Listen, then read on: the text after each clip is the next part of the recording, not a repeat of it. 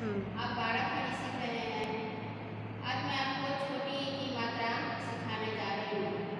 बारह खड़ी में बारह मात्रा होते हैं। इसमें की जो स्वर हमारे तेवर होते हैं, वो भी सब मात्रा होती है और की कोई मात्रा नहीं होती। इसीलिए आज से मात्रा हम स्टार्ट करते हैं। तो छोटी की मात्रा